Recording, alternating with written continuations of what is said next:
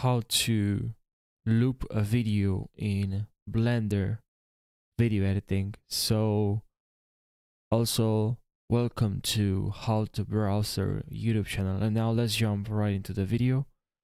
So first of all what you have to change pretty much every time you put a video which which is something that really bugs me but you have to write here 1000 or even more depends on your project because otherwise your video will not get rendered.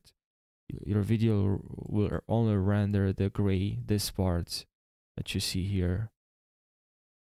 Okay this part this one.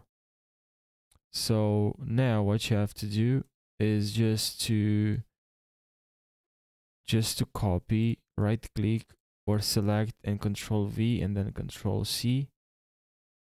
And make sure it's very close to the video.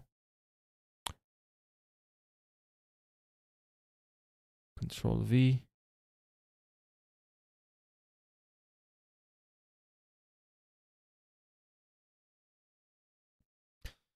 Just copy and paste.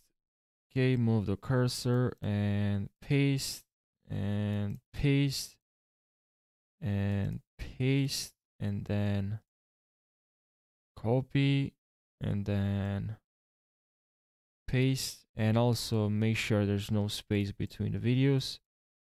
So you have to drag them uh, close to each other. So that's pretty much guys how you do it. I hope this video helped you. If you have any comments please let me know in the comment section. I'll really appreciate that and i'll see you in the next tutorial. Take care